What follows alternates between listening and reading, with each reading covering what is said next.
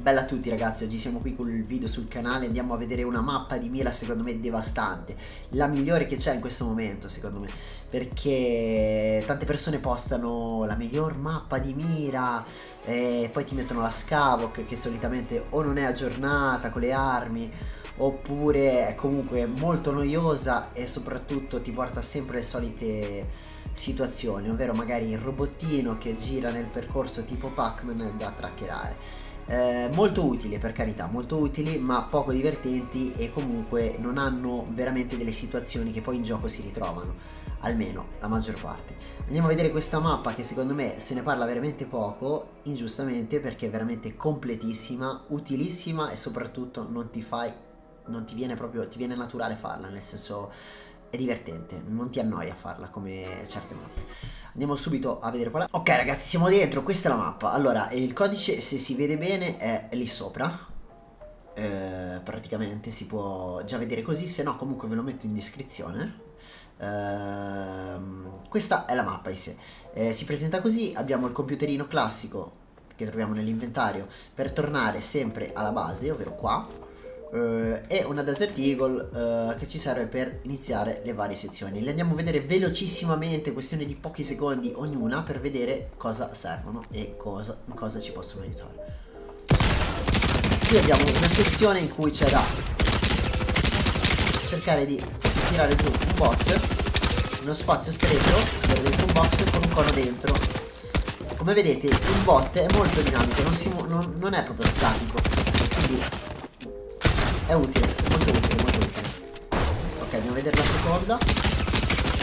La seconda abbiamo sempre un bot, però abbiamo un ambiente circostante molto più aperto che ci porta a muoverci anche noi in maniera diversa. Perché ci sono dei saliscendi, ci aiuta ad essere un pochettino più precisi. Ok, la semplificazione col bot, in questo caso non ci sono né saliscendi né niente, non siamo neanche dentro il box abbiamo il bot semplicemente che si, muoverà, si muoverà, salterà e simulerà una sorta di sparo nei nostri confronti. Ok, questa è l'ultima parte di questa sezione, ovvero ci sono due bot.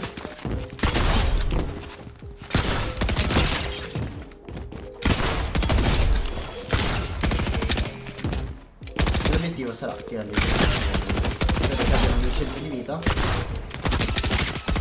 player magari un avversario shieldato in gioco Passiamo alla seconda parte, credo che sia dedicata alla mira con l'assalto, comunque alla lunga distanza, vediamo un attimo. Driver, direi che parla del deltaplani, quindi prendiamo una mitraglietta, magari lo scar che è in gioco. E vediamo un attimo di provare. Ok, abbiamo una mira da lontano col deltaplano. Ok, l'obiettivo è... Ok, l'obiettivo è cercare di prendere hit al bot che si sta tirando giù. Ovviamente si dropperà da più posti sia da vicino che da lontano. Sarà a noi scegliere l'arma e essere abili nel cercare di prendere più danni possibili. Ok qui abbiamo un'altra parte cui i bot sono praticamente impulsati in avanti da vari posti. Ovvero saranno a essere reattivi capire da dove arrivano e cercare di trackerarli. Questo qui è molto utile sia per la build che per la build quanto in questa season c'è il martello e più o meno alle volte quando si, si sparano via col martello trackerarli. In questa maniera sarebbe opportuno Ok, qui abbiamo, uh, possiamo selezionare la distanza, in questo caso, scegliere un assalto, la pistolina che è bestiale, e bisognerà cercare di taggare l'avversario, taggare, ovvero hittarlo, colpirlo. Sono molto distanti, io non sono molto abile nella mira dalla distanza. Però diciamo che l'obiettivo è questo.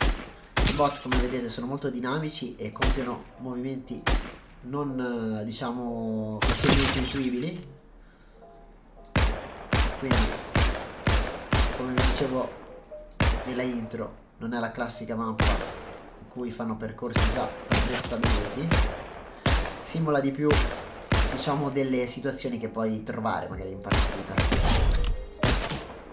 o comunque che si avvicinano di più questa parte adesso questa forse è un po' più complessa poiché noi stessi saremo più dinamici ovvero saremo spostati nel mentre cercheremo di prendere dei tag mentre ci muoveremo. Molto complesso ma molto molto utile veramente. Ok abbiamo finito le prime due sezioni. Come avete visto sono veramente utili. Andiamo sulle ultime tre ok qua dovrebbe essere una sorta di tracking di mitraglietta più o meno se non ricordo male. Molto complesso questo perché bisognerà colpire questo salsicciotto nel mentre che verremo trascinati via. Molto utile. Ok nella seconda parte abbiamo questo allenamento combat davvero utilissimo anche perché il combat lo abbiamo già in gioco in questa season quindi uniamo l'utile al dilettevole Qua abbiamo sempre più o meno lo stesso risultato di prima, semplicemente che le sfere le troveremo più a lungo raggio, ovvero distanti da noi. Possiamo farlo sia con combat che con la R. Questo per sviluppare un pochettino di feeling con entrambe le armi senza mirare. Ok, andiamo nelle ultime due, attenzione. Ok, praticamente i bot spawnano tramite questo suono e salteranno e jumperanno via davanti. Questo, questo allena i nostri riflessi e ovviamente il tracking e la mira di una rispettiva arma. Molto difficile, molto difficile perché i bot vanno giù veramente molto velocemente. Soprattutto ci sono angolazioni veramente difficili da prendere a volte passiamo a questo esercizio che è molto bello, ovvero avremo un pompa, appena colpiremo la sfera eh, verremo proiettati da un'altra parte e avremo la mitraglietta. L'obiettivo sarà eh, colpire il pompa e poi subito switchando con la mitraglietta, lo farà in automatico, vediamolo subito. Ok, avete visto, appena colpita la sfera verremo proiettati e l'obiettivo sarà quello di colpire poi comunque di chiudere tra virgolette la kill della sfera con la mitraglietta. Sarebbe opportuno usare soltanto un caricatore di, di mitraglietta. Io in questo caso faccio fatica. Ok qui abbiamo un tracking di mitraglietta come vi dicevo prima forse più utile perché innanzitutto è su un personaggio su un bot in questo caso che salta e noi saremo dovremo essere abili a colpirlo nel mentre lui compirà questi balzi. Ok qua abbiamo più bot però la differenza rispetto a prima è che siamo, possiamo muoverci bene noi intorno a questo, questa stanza diciamo. Ok andiamo nell'ultimissima sezione Ok, qui a differenza di, dell'esercizio precedente che abbiamo visto, abbiamo uh, di nuovo, verremo sbalzati appena colpiti la sfera, ma rimarremo sempre col pompa. Quindi sarà utile avere eh, prontezza nel colpire velocemente la seconda sfera quando verremo sbalzati, sempre con la stessa arma. Vediamo un attimo.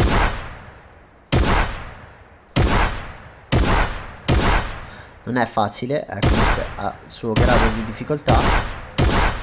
Ok, questo è un esercizio molto utile a mio avviso perché simula una situazione che si può trovare spesso in creativa ma anche in partita quando l'avversario vorrebbe approfittare di una nostra distrazione nel caso noi stessimo sparando qualcun altro da una situazione di altezza di high ground l'avversario a volte potrebbe sorprenderci come dico spesso io eh, salendoci sulla schiena. In questo caso noi dovremmo essere abili a tenerlo a distanza trackerandolo quando si avvicina ok qui abbiamo una situazione di tiro al bersaglio con l'SMG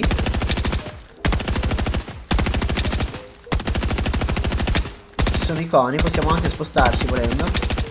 Avvicinarci. Vi consiglio di fare sempre questi esercizi senza mirare perché comunque vi aiutano ad avere più feeling, specialmente quando siete dentro al box contro un avversario.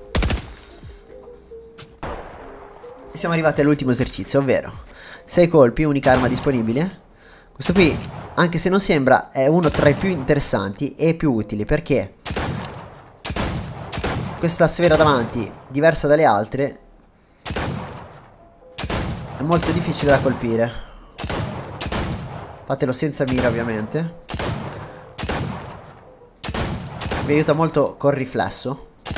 Niente ragazzi, avete visto che è una mappa veramente che si fa tranquillamente, ci si, dedica, ci si può dedicare pochi minuti al giorno e e si porta veramente a casa tantissimo. Quindi io vi consiglio di farla di dedicargli qualche minutino e vedrete tutti i risultati che otterrete. Io niente vi saluto ci vediamo al prossimo video. Un bacione bella a tutti